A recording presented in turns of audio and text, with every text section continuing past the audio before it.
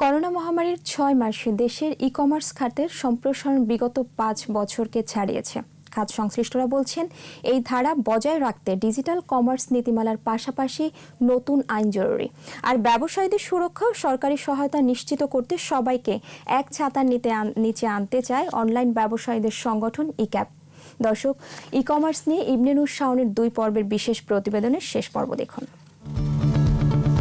অনেক দূরই এগিয়েছে দেশের ই কমার্স খাত। বিশেষ করে করোনা মহামারী শুরুর পর চাহিদা বেড়েছে অনলাইন বাজারের। ক্রেতাদের চাহিদা মতো নিরবিচ্ছিন্ন পণ্য সরবরাহ নিশ্চিত করতে হিমশিম খাচ্ছে ব্যবসায়ীরা।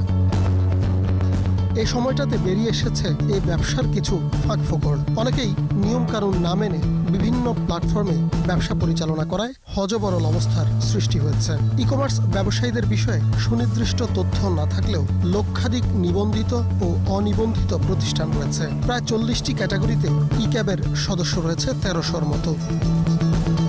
সদস্যদের ঋণ, প্রণোদনা ও প্রশিক্ষণের মতো বিভিন্ন সুযোগ সুবিধা প্রদান করে ই ক্যাব ই কমার্স অথবা অনলাইন ভিত্তিক ব্যবসা করতে হলে ই ক্যাবের মেম্বারশিপ নিতে হবে।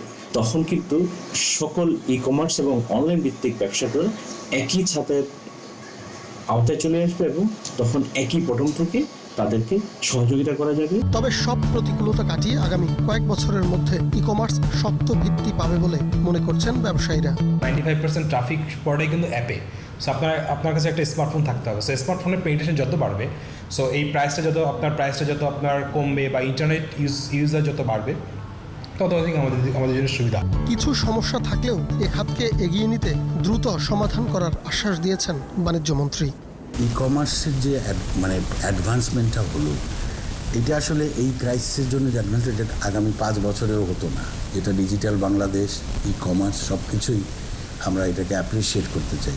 সবারই আশা, ক্রেতা বিক্রেতার আস্থায় ই কমার্স দেশের অর্থনীতিতে আরও বড় ভূমিকা রাখবে। ইবনে নূর শাউন একুশে টেলিভিশন, ঢাকা।